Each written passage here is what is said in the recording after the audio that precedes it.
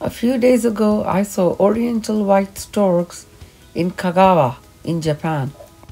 They are classified as endangered species in Japan. In 1971, they had disappeared entirely from the wild. A reintroduction project was conducted and a few of the storks were released in the wild between 2005 and 2010 and the first fledgling was observed in 2007 that was about 46 years after the last wild fledgling.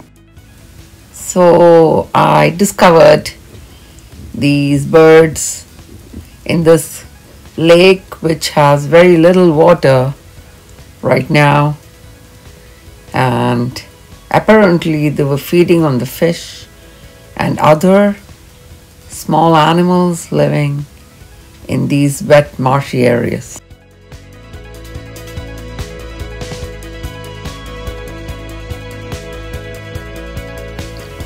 The Japanese government is now encouraging farmers to grow their crops organically and avoid the use of pesticides it is important to create an environment friendly to wildlife so that human beings and animals can live in harmony. I can't find them anywhere now. I'm searching for them.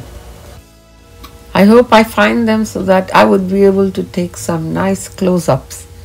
Anyway, thank you for watching.